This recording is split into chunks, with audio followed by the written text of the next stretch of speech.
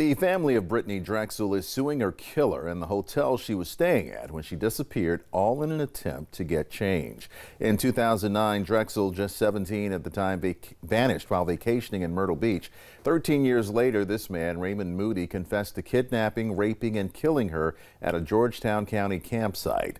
The lawsuit names Moody and the Bar Harbor Resort in Myrtle Beach, where Drexel was staying as an unaccompanied minor. The lawsuit claims the hotel had no policies in place to police to un unaccompanied minors and that if there were policies in place, Drexel's death could have been prevented.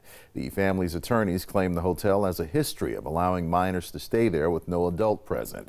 The family wants changes made to state law and hotels to stop something like this from happening again. They also want the hotel where Drexel stayed to be shut down.